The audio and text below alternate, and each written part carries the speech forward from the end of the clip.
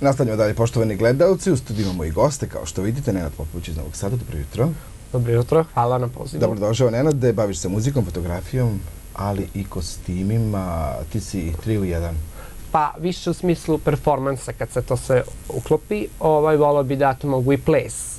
Nekad sam išao, ali sad već slabije. Ovaj, a i ne mogu sve ni fizički da postižem jer sam se najviše posvetio pevanju. Ovaj, uglavnom najviše me inspiriše 18. vek, onako baroki, karneri, plemići, tome slične teme kao u Veneciji, Francuskoj. Ovaj, I tako to nekako gledam da osavremenim pa uklopim. Dobro, kada je muzika u pitanju, šta voliš da, pa, da uglavnom, pevaš? se razmišlja o nekoj pesmi, autorskoj? Pa ima naravno i ponuda, ima ovaj sad naravno i ja gledam, ne želim da budem jedan od, još jedan niz od onih koji će samo tako da uplate, da im neko sve samo odradi, pa ko ću ja da učestvujem u stvaranju. Ove, ne želim da budem još jedan u nizu onih koji će koji su samo tako u prolazu, želim zaista da budem neko ko će da ostavi neki trag. Tako da, da učestvujem u stvaranju, u pisanju tekstova, u odabiru muzike, u osmišljavanju nastupa. Kada je fotografija u pitanju? Pa, uglavnom, to, to je prvo i krenulo, ovo još nekako od rođenja. I onda se iz toga razvilo ostalo. Isto tako, uglavnom su istorijske teme. Postoji moja stranica i moj Twitter profil na Fejsu i Twitteru gde ja to, izvinjam se na grešci, ovaj, redovno objavljujem i tamo me ljudi prate i tamo može sve to lepo da se vidi. Znači sve maske, svu šminku, kostime, sve, sve osmišljavanje lokacije, uglova, sve, sve, sve, sve sam radim.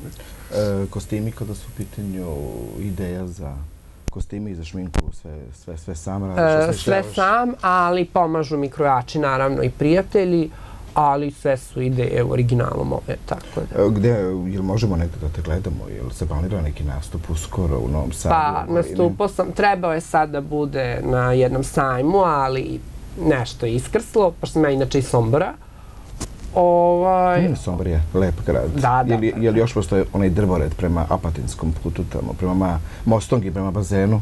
Da, da, da, da, da, da, jedino su nam glavnu ulicu posekli, ali ovako savjetujem svakom evo iz stare pazove da dođe da poseti Sombor. I... Dobro, gledalci ne mogu da podsjete e, Facebook stranicu da se da, da pogledaju čime se ti to baviš i... Pa zato što da, u današnjoj eri interneta je to jedini vid zapravo sada dali preko Fejsa, Twittera, sajta ovaj, da se, pošto danas sve slabije i slabije ljudi idu u galerije i tome slično, onda jedino gde je bit prezentacije jeste internet, ali isto tako kad pogledam, o, kad na internetu ipak svima sve dostupno, pa mislim da je tako i bolje jer onda svima pristupačno, nebitno iako je muzika za slušanje, lakše je tako nego, jeste to nekad bilo lepše kad su se kupovali CD-ovi ploče, ali ovako možemo sve da imamo na jednom mestu na internetu. Toga više nema, ploča i kaseta, pa, toga to, više da. nema. E, dobro, znači očekujemo možda neku pesmu, autorsku? Pa, možda, ovaj, ali ne bi ja ništa da ja najavljujem, da će to da bude, ne znam, nikad viđeno i tome slično, revolucionarno, jer uglavnom oni koji tako puno sve i svašta pričaju, ne bude ništa od toga.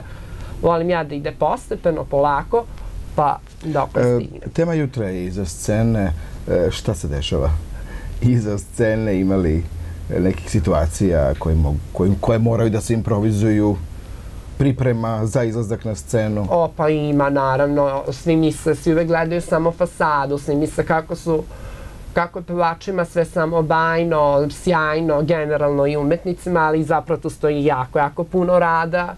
Ovaj, iako ti dan nije super, izgledaš super, moraš da budeš nasmejan, ovaj, važan je prenos te energije, ovaj, razmena, ovaj, da se ostavi utisak, da kako da objasnim. Da se bude kako treba. Tačno. Tako je. Nenade, hvala što si bio gost jutarnjeg programa, želim ti puno uspeha i kada bude neka nova pesma, ili neki novi kostim, ili neka nova šminka, ti opet dolazi. Hvala, da vam predstavim neke fotografije ili pesmu, ako me pozovete, dolazim ja. Hvala lepo. Hvala doviđenja.